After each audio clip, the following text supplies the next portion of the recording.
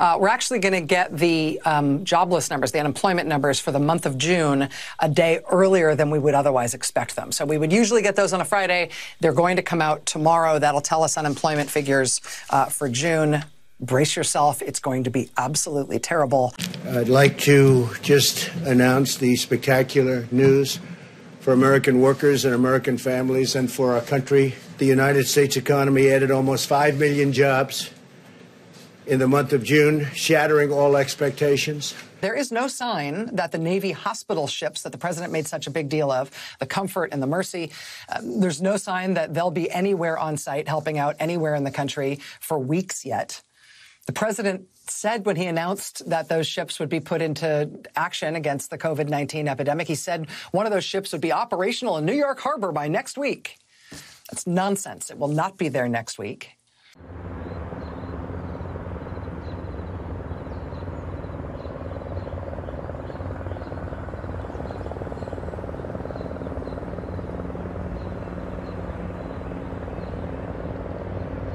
You see this massive ship that has arrived here at Pier 90 along the Hudson River. The ship hospital has 1,000 beds and 12 operating rooms. The medical staff on board can treat a wide range of illnesses from minor injuries to patients in critical condition. Incredible naval hospital ship, the USNS Comfort, which is incredible actually when you see it inside, will be underway to New York City on Saturday. So it's going to be leaving on Saturday rather than three weeks from now.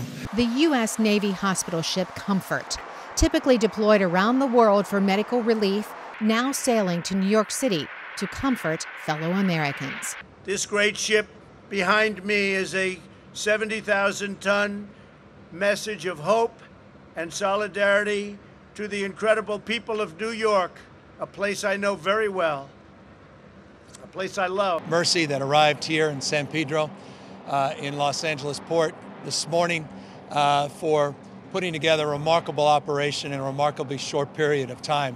Uh, these men and women were quite literally called up a few days ago, came from hospitals all over the state of California and the region, and came together under the order uh, of President Donald Trump. And I want to just thank the President personally on behalf of a grateful region, on behalf of a grateful state uh, for sending this ship uh, and the incredible resources uh, that reside within this ship to the state of California.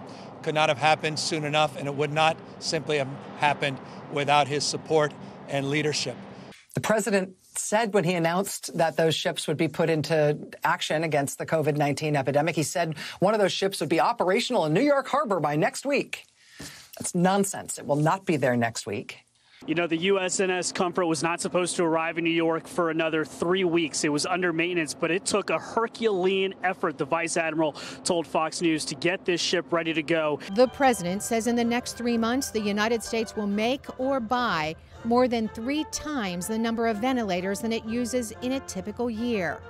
Tens of thousands more necessary in the care of the sickest coronavirus patients.